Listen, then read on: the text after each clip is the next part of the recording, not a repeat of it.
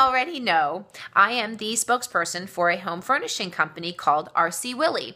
They're in Utah and they have stores in Idaho, in Nevada and in Northern California. And I was recently back in Salt Lake City for, you guessed it, a grand opening of a brand new store. And I know that maybe if you're not from those parts, you may not understand why this is such a big, big deal.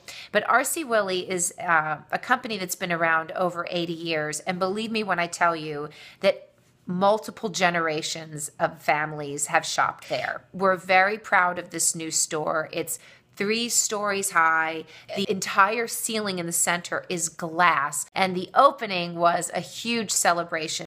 All the bigwigs were there. We had the big scissors to cut the ribbon, and it was just so exciting. And uh, lots of people, like hundreds of people, pouring into this store tons of food and lots and lots of amazing food and hot dogs.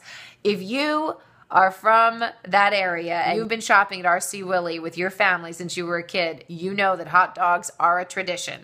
So I was definitely passing out hot dogs. I was doing tons of selfies. There was um, a lot of child holding a lot of that. I felt like a politician, kind of. Um, there was a bluegrass band, there was um, a juggler, a caricature artist, a magician. There was a mariachi band. I didn't even know that was going to happen. What? All right. Okay, on the count of three. One, two, three. RC